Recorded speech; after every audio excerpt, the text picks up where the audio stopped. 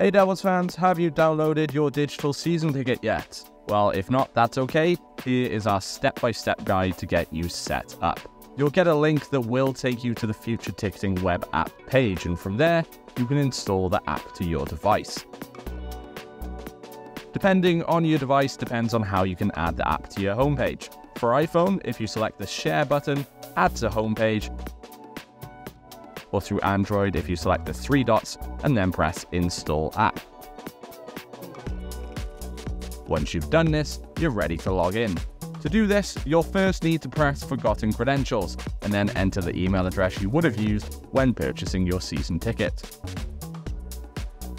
Once you've done this, you'll receive an email asking you to either create or reset your password.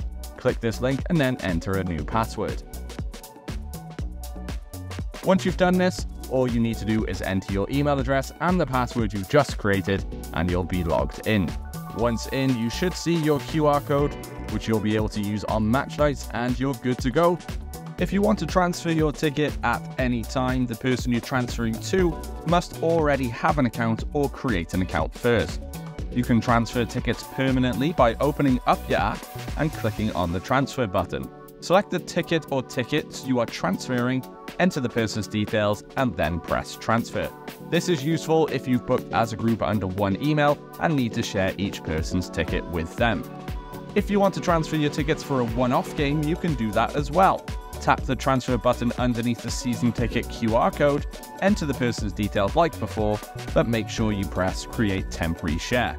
When you want to stop sharing a ticket, make sure you press Create Temporary Share again to turn this off.